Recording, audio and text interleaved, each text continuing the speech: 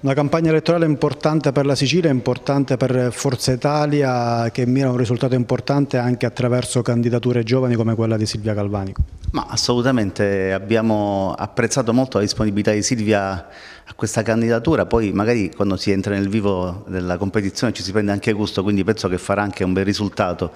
Riteniamo che sia doveroso ricambiare la classe dirigente e la sua candidatura potrebbe essere l'inizio ecco, di, di, un rinnovamento legittimo che dopo tanti anni e dopo tante diciamo, legislature possa avere finalmente un volto nuovo. I risultati sono e saranno eh, veramente strepitosi, riteniamo che si possa fare veramente bene, con volti nuovi e per una nuova politica che finalmente potrà dare alla regione siciliana un po' di lustro.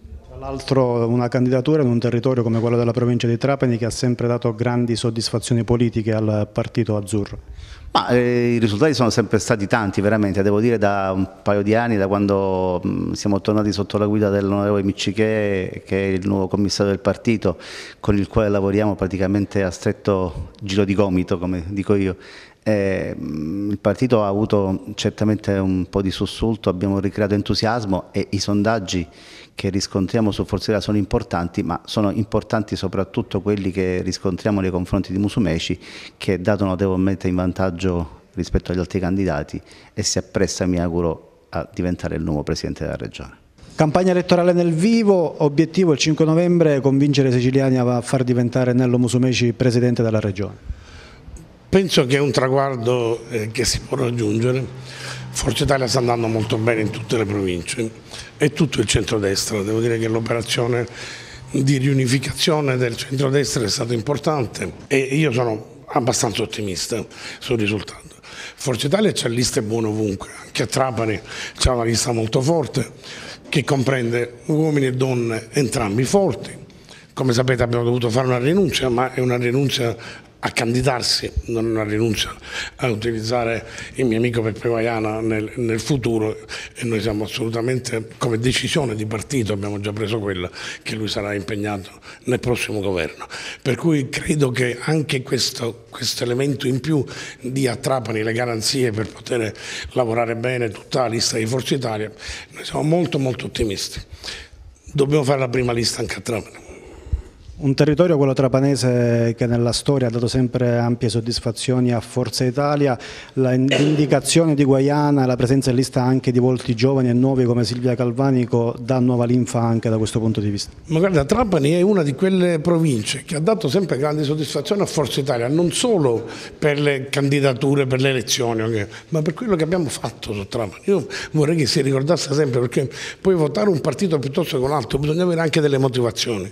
Io ricordo ricordo che noi su Trapani abbiamo avuto sempre un interesse straordinario, a partire dall'American Scap, che nessuno pensava fosse possibile realizzare su Trapani, alla funivia eh, Erice Trapani che fu realizzata in tempi brevissimi soltanto dal CIPE, cioè quei quattrini di cui avevamo disponibilità noi quando eravamo al governo, a tantissime altre cose. E io quello che, cui vorrei garantire i trapanesi è che questo tipo di interesse ci sarà ancora di più dopo. Certo, gente come Silvia, gente come tutti gli altri candidati, Tommasi, come Peppe Goiana, sono persone che garantiscono i risultati che ci sono stati nel passato e che ci potranno essere nel futuro. È il partito che garantisce questi, questi risultati. Loro sono espressione del partito espressioni migliori che ha questo partito a Trapani, ma in, in assoluto in ogni provincia. Un partito che comunque conta sulla nuova, tra virgolette, discesa in campo di un rinvigorito Silvio Berlusconi. Non quale Redivi, non ha voluto mai, cioè, Berlusconi è sempre lui, è sempre lucido, è sempre, guarda, di una capacità che veramente, io giorno ero ad Arcor, quest'estate quando abbiamo fatto questo grande accordo, avevamo una cena, per cui la sera a un certo lui c'è un grande specchio nella, nella, sala centrale e tutti e due ci sistemavamo. E io lo guardavo accanto a me parevo io suo padre. Cioè è, è un ragazzino è sempre, ha talmente voglia di fare, ha talmente eh, eh, intelligenza nelle cose che pensa, che c'è veramente da rimanere stupiti. Io credo che è uno degli uomini più grandi che questa terra abbia mai avuto. Giuseppe Guaiana, la voce circolava da qualche giorno, adesso l'investitura ufficiale da parte del coordinamento regionale di Forza Italia nel prossimo governo Musumeci, lei sarà assessore, allo stesso tempo una ventata di orgoglio ma anche di grande responsabilità.